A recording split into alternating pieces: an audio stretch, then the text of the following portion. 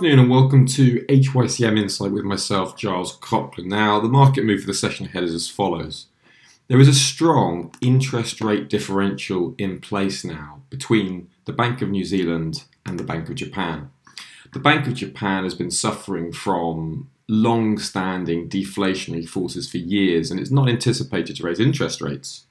However, the RBNZ, in contrast, is anticipating rising interest rates around four times next year. This makes for a very clear case of dip buying for investors on pullbacks in the New Zealand dollar Japanese yen pair on these rate differ differentials.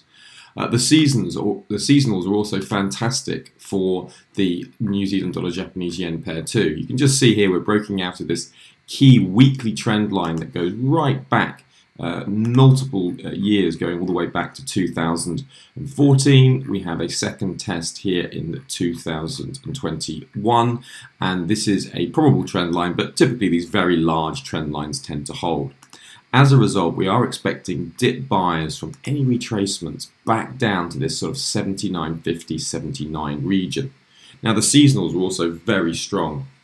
If you just take a look over the last 10 years, the New Zealand dollar Japanese yen pair has risen 70% of the time between October the 26th and December the 1st, with an average return of plus 3.77%.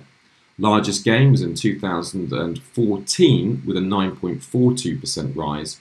And the largest loss was in 2017, where it registered a relatively mild minus 1.04% loss. Major trade risks. Well, any significant breakout of COVID 19 in New Zealand could negate this outlook, as could a monetary policy shift between the RBNZ and the BOJ.